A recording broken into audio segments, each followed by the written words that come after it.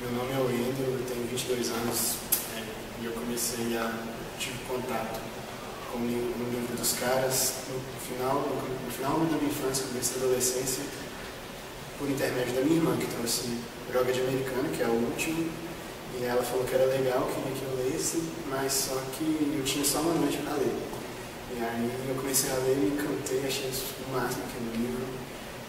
Li uma noite, depois procurei saber se tinha mais com minha irmã, falou que tinha mais uma coleção, né? fazia parte de uma coleção. Então eu procurei na minha escola, não tinha mais nenhum. E aí eu fui até a biblioteca municipal da minha cidade. Então eu fiz cadastro na biblioteca para procurar o livro dos caras. Depois disso eu fiquei tão, tão encantado com a série, gostava tanto, que eu comecei a me corresponder com o autor por e-mail, mandando sugestões e, para minha surpresa, me respondeu. Tanto é que hoje nós estabelecemos uma relação meio que de amizade. Até hoje eu tenho contato com o Andrés e devo a ele o meu gosto pela leitura e tudo que eu conquistei na vida por conta da leitura, eu sei que eu conquistei porque eu comecei lendo Pedro Bandeira. O primeiro livro que eu li na vida foi dele, na minha infância, que era um dinossauro que fazia aula.